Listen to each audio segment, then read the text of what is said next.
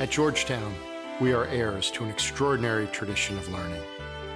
It's a tradition that has been handed down from generation to generation by some exceptional leaders.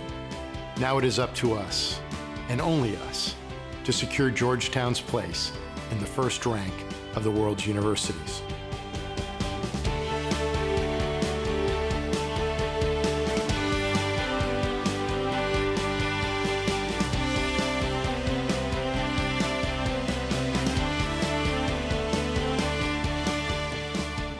Alumni, parents, and friends, thank you.